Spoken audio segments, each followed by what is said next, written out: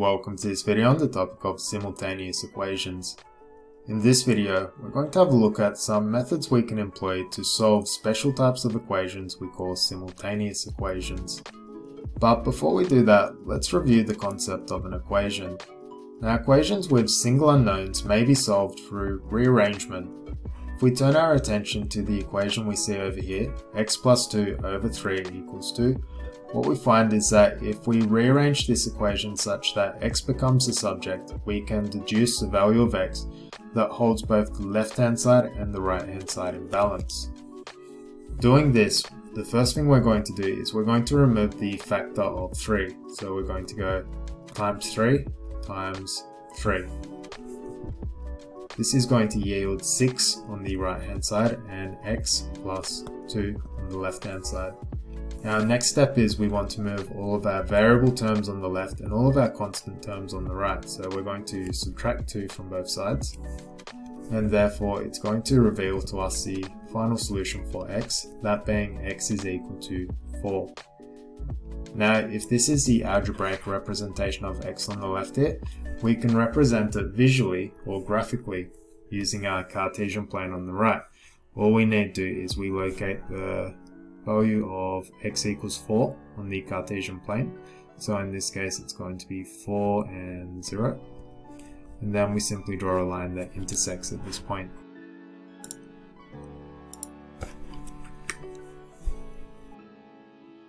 And thus what we have is the graphical representation to this algebraic statement we have on the left here. So x is equal to 4 for all values of y. As a result, what we find is that Equations with single unknowns typically have a definitive result. Now in contrast to equations with definitive results, what we also have are equations where there are more than one unknown. As a result, what we find is that there are multiple solutions to the equations that we have. So consider the equation y equals 2x plus 1. Doesn't matter however we rearrange this equation, we always find that y is always dependent on the value of x and x is always dependent on the value of y. And as a result, we never get a definitive value for either x or y. So rearranging this, we could put this in terms of x, such that x is going to be equal to y minus 1 all divided by 2. Or we could even put this in general form in such a way that it would appear as though 2x minus y equals negative 1. So it doesn't matter however we rearrange this, we can never get a definitive result. Furthermore, all of the arrangements or all of the forms that we can put these in are all simply the same relationship. Now expressing this relationship in its graphical representation, what we find is that the solutions to these equations we have on the left here are going to be any point that lies on this line. So simply sketching this, every single point that this line cuts through is a solution to this particular equation. So when x is equal to 0, y can be equal to 1. When x is equal to 1, y can be equal to 3. When x is equal to 2, y is equal to 5. So what we find is that all of these points are solutions to the equation. So what we find is there's no real definitive solution in that there's no single solution, rather there are multiple. Now with this in mind, there is still a way in which we can get definitive solutions when we have more than one unknown in single equations. Now in the case that we find ourselves in a situation where we have multiple unknowns and just as many, if not more, related equations, then it is possible to find definitive solutions to the unknowns. So there's definitive solutions for x and y. Now consider the two equations we have over here, equation 1 and equation 2. Let's say that both of these equations are related or they're from a similar system, however their definitions are different.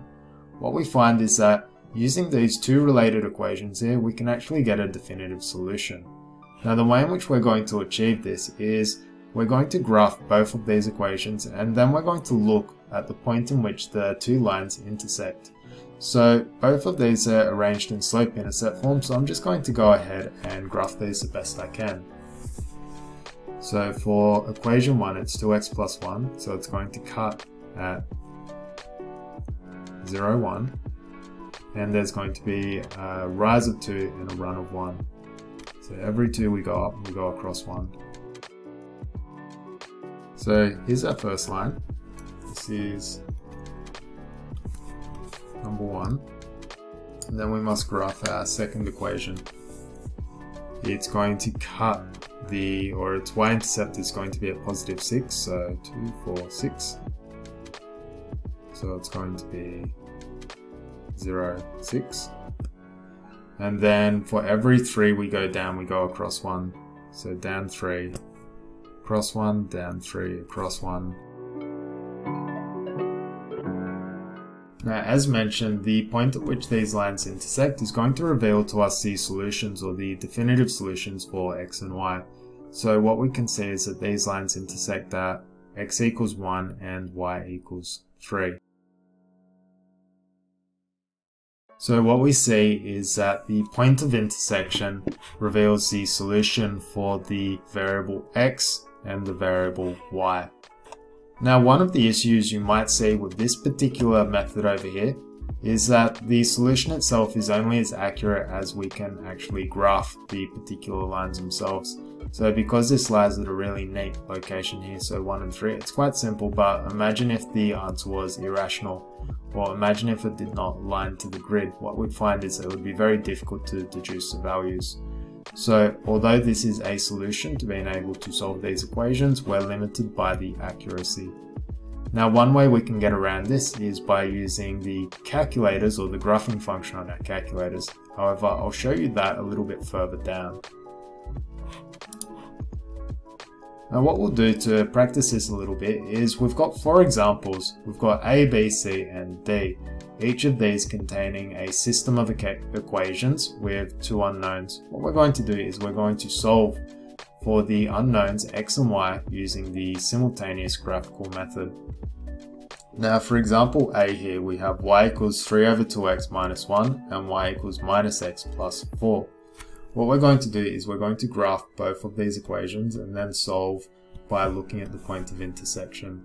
So just labeling my axis, I've got positive y and positive x.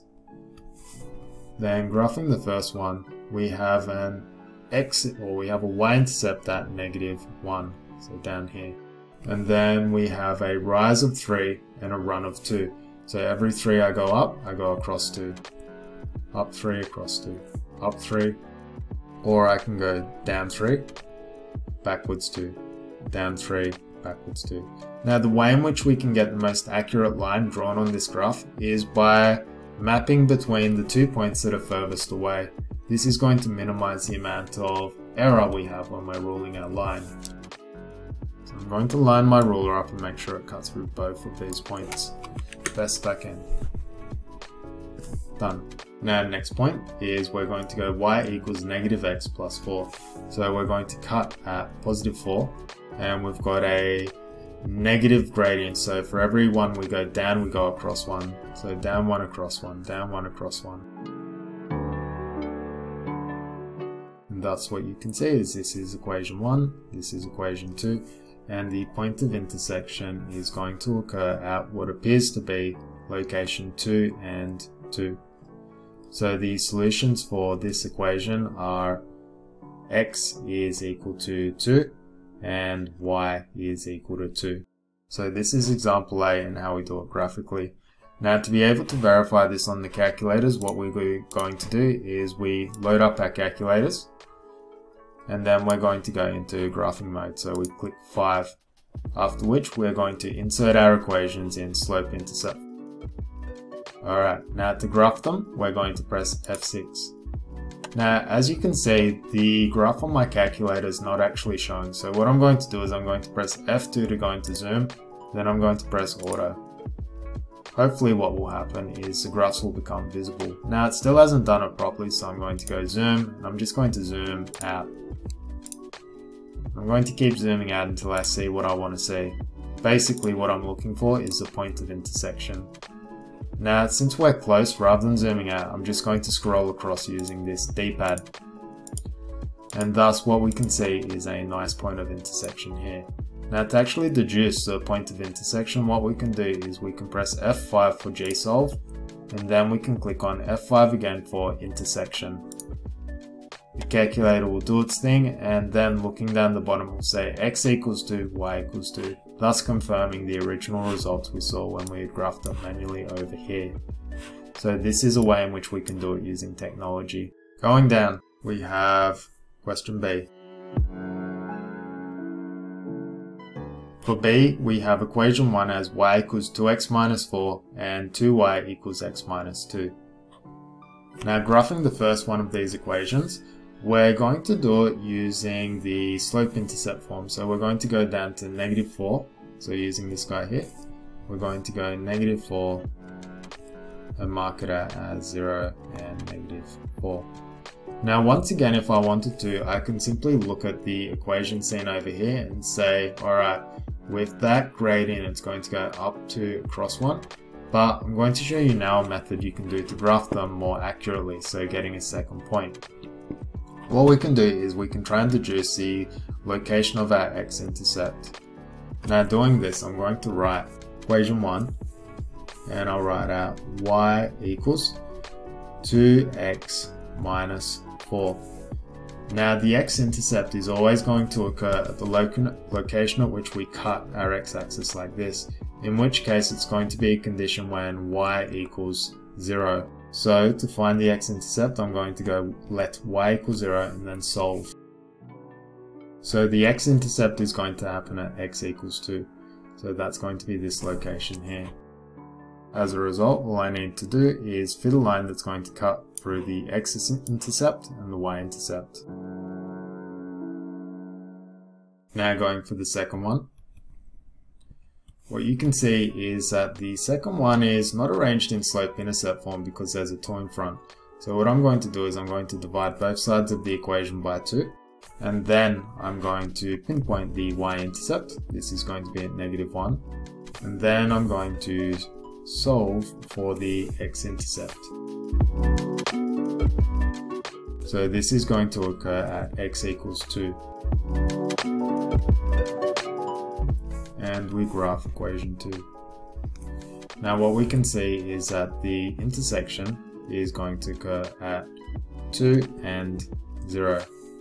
So as a result, the values for x and y, x is going to be a value of 2 and y is going to be a value of 0. Now verifying this using our technology, I will turn these two equations off by pressing F1. Then I'll input the two new equations. So it's got to be slope-intercept form, so I've got to go y equals 2x minus 4. And then the second one's going to be half x minus 1. Graphing this, it seems to cut where we're expecting. We'll go g solve, intersect, and lo and behold, the value is x equals 2, y equals 0, confirming our results seen over here. Moving on to C, we have y equals x plus 1 and x equals 2. So something a little bit different. Now, graphing the first one, it's y equals x plus 1. So let's go, uh, we'll say that this is going to be the y-intercept. And we'll say it's at 0 and 1. So double spacing here. Moving on from there, we need to get the x-intercept. So we'll go let y equals 0. So the x-intercept is going to happen at x equals negative 1. So that's going to be here in this case. Graphing this. Thus we find that subsequent line. Now the second equation we have is x equals 2. So it's just a single result here. So x equals 2. So graphing this, we are going to locate 2 on our uh, x-axis and it's going to occur here. So what we can say is that this is going to be 2 and 0. Fitting a line, we find that the intersection is going to happen at x equals 2 and y equals 1, 2, 3. As a result, the solutions to this equation are going to be x equals 2 and y equals 3. Checking this with our technology, I'll turn off these two equations. And then I'm going to type in x plus 1. Alright, now putting in equation 2, uh, we have it in the form of x equals something as opposed to y equals something. Now to put in x equals 2, what I'm going to do is I'm going to go down to my free space here, y6, I'll go down to f3 for type, then I'm going to change it from y equals to x equals. Putting this in, it's x equals 2, so I go x equals 2 graph. Now what you can see is we have the vertical line here. To be able to solve this, if we go into GSolve and click intersection, it's not going to give us the result. So rather what we need to do is we need to go in, click across one, then go to ycal. This will enable us to put in a value for x that we want to solve for. Putting this in, what you can see is the cursor lies on the point of intersection here, in which case x equals 2, y equals 3, which confirms the value that we were able to deduce from our graphical representation here.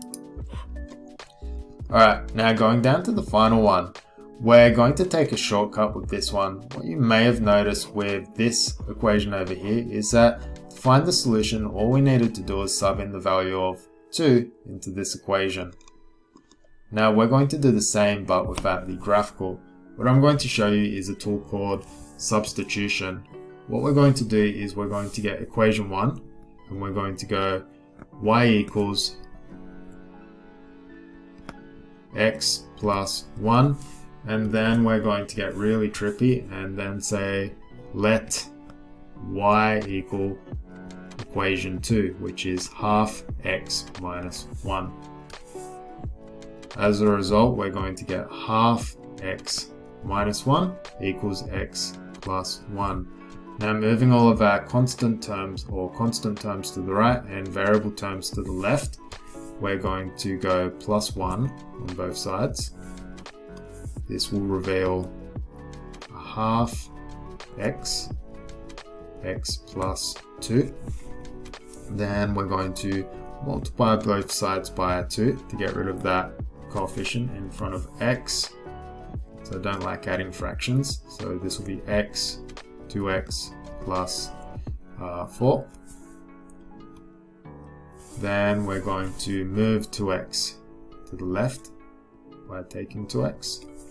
This will reveal a or minus x plus 4.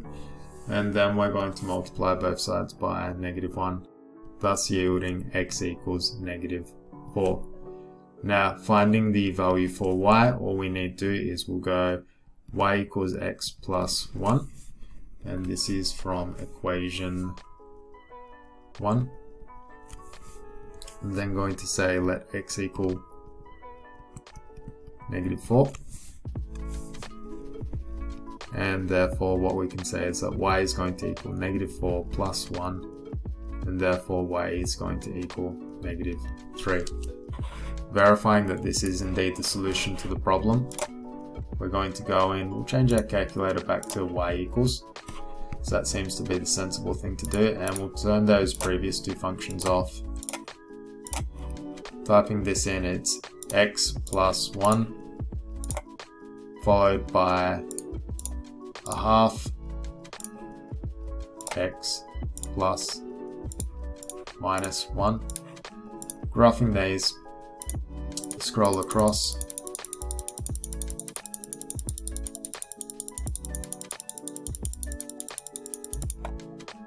And then we're going to go gsolve intersection. And lo and behold, the solutions to this problem are indeed minus 4 and minus 3 for x and y respectively.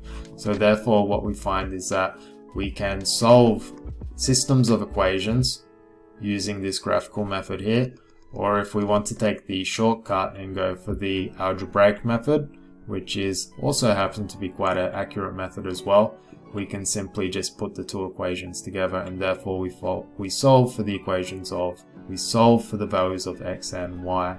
So in summary, what we had a look at in this video was we wanted to have a look at how we can solve equations more specifically, we wanted to have a look at how we solve equations when there are multiple unknowns and multiple related equations.